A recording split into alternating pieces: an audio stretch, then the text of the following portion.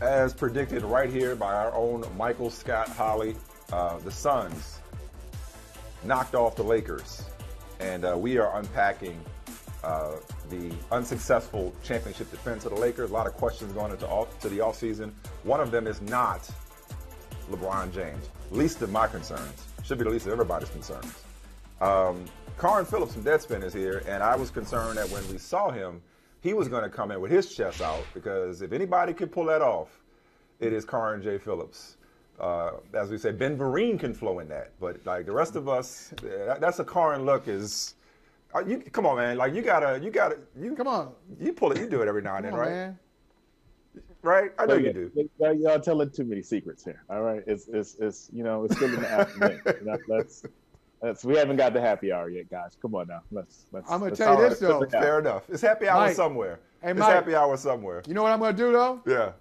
Mike, if uh, if the Brooklyn Nets lose in the second round, I'm coming out. I'm coming out shirtless, shirtless on Brother from Another. You get to see all this. Don't raise the stakes. I'm hiding it. Please don't raise the stakes. I'm hiding it here. Please don't raise the raise the stakes. Because you know I'm trying Um, not to flex on everybody. I, I think I think we'll be safe. Was I, I think we'll be safe Okay. because okay. Good. I don't I don't I don't believe the Bucks are coming out of that series at all. So I think well, we, we're all. well, we gonna were going to go to the Lakers. We were going to go to the Lakers, but since we on that, just just stay there. Go ahead. So ex- expound on that, please. because um, look, Miami just ran out of gas, and I, when I look at this Milwaukee Bucks team, there are two still glaring issues there that they haven't solved. One, Bud is still the coach, and two, Giannis didn't get better or makes anyone better. So if I'm Steve Nash, this is what we do: we go grab Claxton, and if Jeff Green is healthy and he can come back, or whatever service so big, or if Blake Griffin can give us six fouls every night. This is what we're going to do. We're going to play Giannis straight up all game, and we're going to defend the hell out of everybody else on that floor. And we're going to let Giannis average 45 for the series, and we're going to win in five. Because we're going to, if I'm, if I'm the Brooklyn Nets, we're watching tapes of the 04 finals and watching what the Pistons did to the Lakers and said, oh, all they did was let Shaq go ham the whole series and shut down everybody else. And that's what you do with Giannis because he can't uh, create for anyone. He doesn't make anybody's job easier. And no one on that roster can create their own shot. That entire offense is predicated off Giannis Oh my in the God! season Oh, wait, dominating Carron, Carron, and kick, and- and That's kick so out much threes. slander. Oh, okay. So wait, Jrue Holiday can get his own shot. Middleton can get his own shot. And I have never. Like, how does a two-time MVP? Listen, how does a two? I just answer me this question. How does a two-time MVP not make Yeah, anybody? answer better? this. Like that Yeah, dude flies in yeah, the face of the definition Answer of, that. of, of, Answer the, that. of the of the of the status. because Come he's on. the MVP, because he's the MVP of the regular season. The Bucks are one of those teams that are always good when it doesn't matter, but when it does matter, they aren't. Which is why I wanted to tie into what you said earlier about Mike uh, about Rob Pelinka and the Lakers about how good of a haul he did in his offseason. Right? No, he didn't. I don't understand why LeBron and everyone else has belief in Rob Pelinka because I'm like, what did Rob Pelinka do? Because when I saw the Lakers in the playoffs, everything that they were missing that they needed, they had last year and let go. And that haul he brought in last year, like, what did he do? Rondo was looking for a job. Uh, um, Montrezl Harrell, okay, that was a good move, but he was pissed off at the Clippers, so he was looking to get out of there. Uh, Marc Gasol, okay, Okay. cool. But even the haul he brought in the year before with Danny Green and all those guys, Danny Green only came to the Sure. Lakers because Kawhi left Toronto and he was like, I'm going to make my decision based off him. If we look at all the significant pieces that they've added, Dwight Howard turned out great, right? Nobody wanted him. JaVale McGee was just floating around.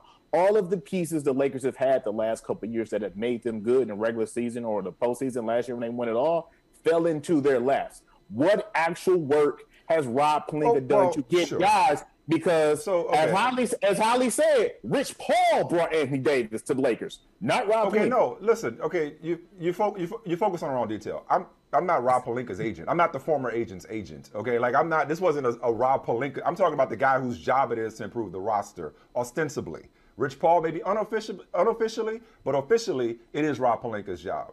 My point was simply that I think you would agree with this. Because if, if, you don't and you didn't, you're in a vast minority, and that's not. Listen, you, so you see things some people don't, Carron Phillips. I'm saying like at the beginning of the season, they were universally considered to have upgraded by bringing in specifically Dennis Schroeder and Montrezl right. Harrell, not to yeah. mention Marc Gasol. They were all seen as upgrades from the role players. It didn't play out that way. But did you did you not think they were upgrades at the time when they acquired those players? Oh yeah, like I remember the days when like the news were breaking on Twitter, and I was, oh okay, oh okay, yeah, this looked good. But I remember a couple weeks after, I kept thinking about it, and I was like, I've never seen Wesley Matthews hit a shot that mattered when you needed him to. Just like last night when that run was coming and he had that look in the corner that would have cut it under single digit. And I was like, oh, that's off because Wesley Matthews that, yeah. never make that shot. Um, Marc Gasol, and I was like, okay, the only way this works is if they put him at the high post and they run a high low with him Anthony Davis because Gasol can facilitate, he can set screens well, and he can uh, pick and pop and shoot threes. They didn't do that all year, which I never understood. And Schroeder, I thought Schroeder was going to work because I was like, listen, he's a great backup point guard since you lost Rondo, since LeBron plays the point. And then the season started and Schroeder started. And I was like, so who's going to run the offense when they're both on the floor? Alex Caruso? I don't understand. I believe in some parts they had all the right pieces. I don't think they necessarily use those pieces the right way. And as we all know, in the postseason, that's when you get exposed. And I don't know what the hell Vogel's doing this series because I have never seen a series flip dramatically or as quickly as this did. A week ago, we were laughing at Jae Crowder and Drummond was on the bench mimicking, and the Lakers about to steamroll yeah. the lead. Toni Braxton came up and sang seven whole days, and seven whole days later, the Lakers were a joke and getting run out the gym. What, what, and what Devin Booker was, up, was cussing out the rock. Anthony Davis, though. But the answer is yeah, Anthony Davis. Like I mean, if, if, lot, if, if maybe Vogel could have done a better job Davis. of adjusting. No, no question. But they were up two one with those same pieces and those same shortcomings. They had the best defense in the league, and they were up two one, looking like they were going to run away with this series. When Anthony Davis was going for thirty, he gets hurt and they don't win again. So, I, I mean, I, it's to, it's not all about Anthony Davis's injury, but that's where it's yeah. got to start, and everything kind of flew, uh, flows from there. Thing that can, the thing that concerned me the most, if if if you're a Lakers fan, because I saw this even before Davis got hurt and he was putting up numbers like you just said. Every time they went to Phoenix, they looked shell shocked, like they had never been in an atmosphere like that before. It's like they forgot how to play defense and they forgot how to punch back, except for that. Uh, what was that game four? Um, but I I was always confused about how they were not prepared for Phoenix's first quarter punches. It happened last night. It happened in game five. And I just kept looking around to like what happened in the prep in the game prep for them not to be prepared for this team to punch first when that team had been punching first the whole series. Well, Speaking look, of Michael, uh, eventually I'm, I'm going to remind, remind, me to ask you about punching later on, Carron. Sorry, Michael. Just remind me. Don't don't let me let you leave. I want to come back to the subject of punching in a moment. But go ahead, Michael. Yeah, you know, I'm not even going to get into. I'm not even going to get into all the crazy stuff you said about the Milwaukee Bucks. I'm just like I'm. I'm I feel some kind of way about it. I'm not going to get into it. I'm not going to get into it because you know, look, it's just not worth it right now. But I do want to ask you about LeBron in the future. We were talking about before he came on. Is the beginning of the end? What can you expect at age 37? What do you expect from LeBron uh, going into next season? I don't expect anything different from LeBron because we've never seen anything different from him.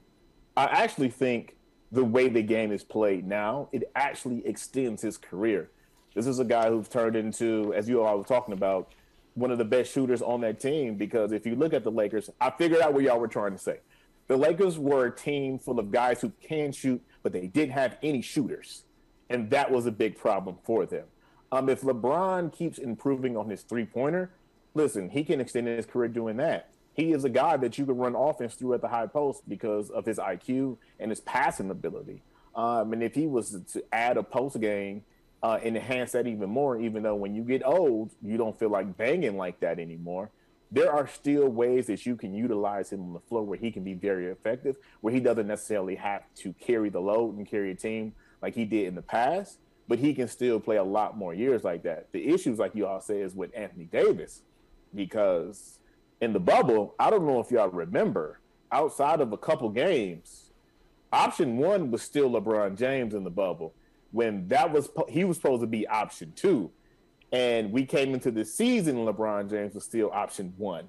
And last night he was. And before AD got banged up early in the season, LeBron was still option one. At what point does Anthony Davis take it upon himself to take that next step to when he is the best player and the go-to guy on this team? Because that's what LeBron needs. He's always had sidekicks, like you guys said in Miami, then back in Cleveland, and not here now. He's at that point uh, in his career where he needs to be one B and not one A. And if Anthony Davis can't be one A, mm. then you got to figure out what to do very, very quickly because this ain't gonna go right, and it's gonna keep being like it was last night. I don't know that a guy like LeBron James is built to be a one B.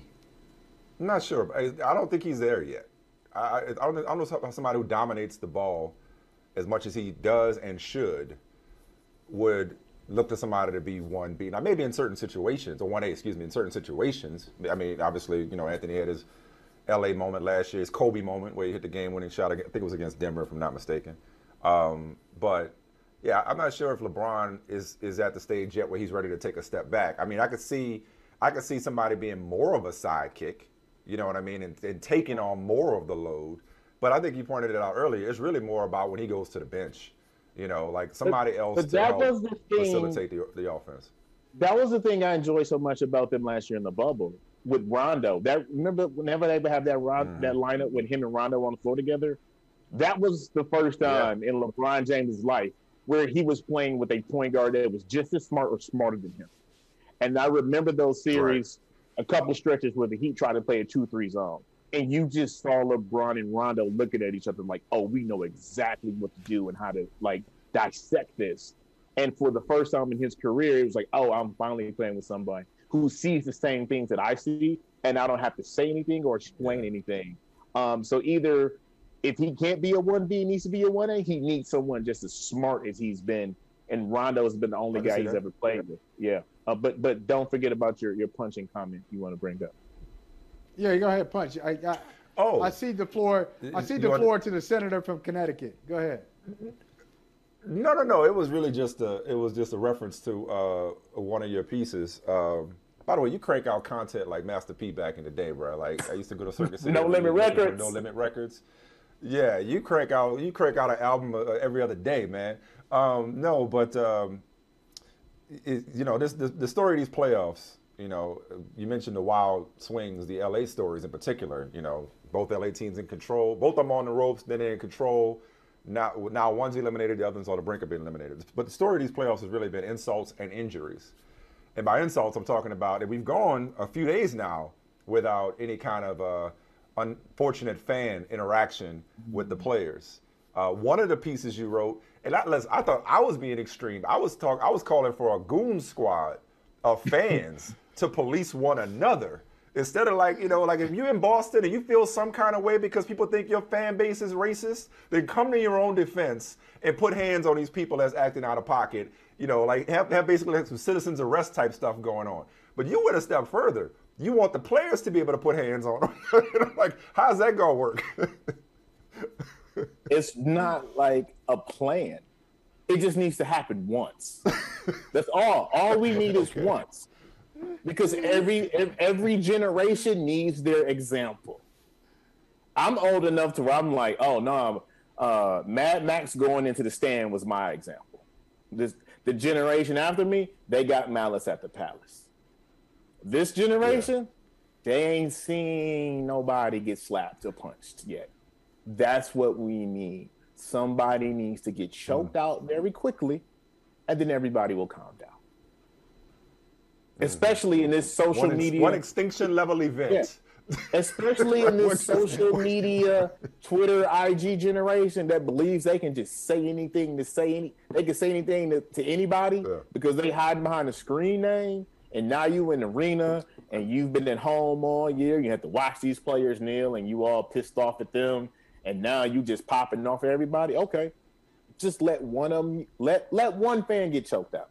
Everybody's gonna calm back down and sit down, and we will be okay. Oh, What was that? I don't know. Well, what it depends on how the cat's name, lawsuit plays out.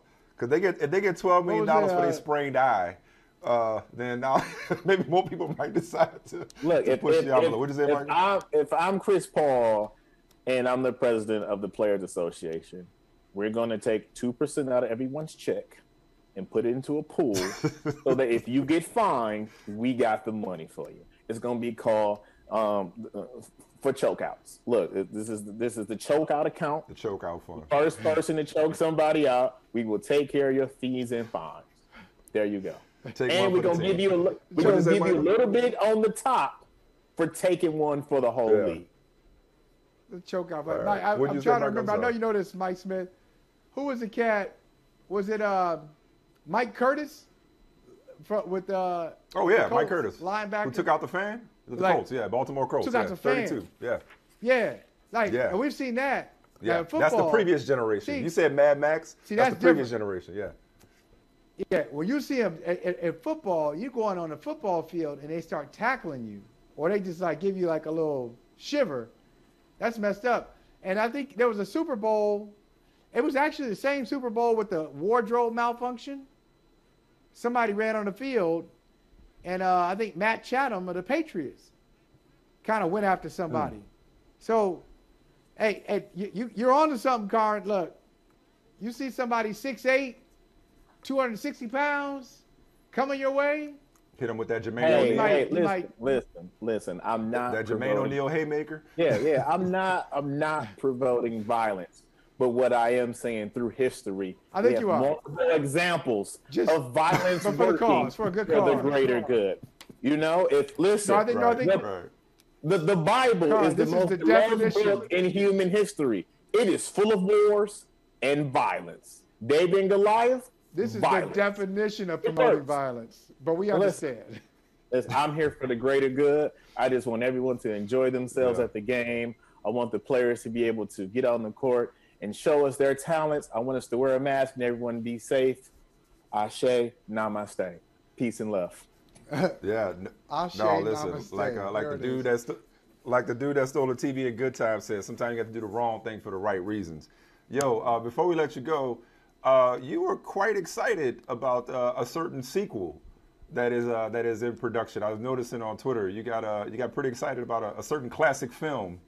That Oh, is, Wedding uh, being- begins filming in August, I believe. yeah, like I, I'm just as I continue to get to know you more and more with every appearance here on Brother from Another, I, is, is Wedding Crashers is way up there for you, huh? It's a classic. Like, Mom, meatloaf. No doubt. What what is she doing up there? I never know what she's know. doing. I never know what she's doing. No. Exactly. No. Me and you. More, more for me and you. no, a lot of quotables in that. Absolutely, a hell of a lot of quotables in that movie. Oh man, well, hey, you full of quotables, brother. Uh, keep up the great work. Keep killing it on Deadspin. Obviously, uh, follow my man on Twitter. Uh, Carron Phillips. We'll see you next time, bro. Appreciate the knowledge. See y'all. Be good. Hey, thanks for watching Brother from Another on YouTube. Make sure you hit subscribe before you leave and be sure to watch us 3 to 5 p.m. Eastern Time on Peacock. Appreciate you.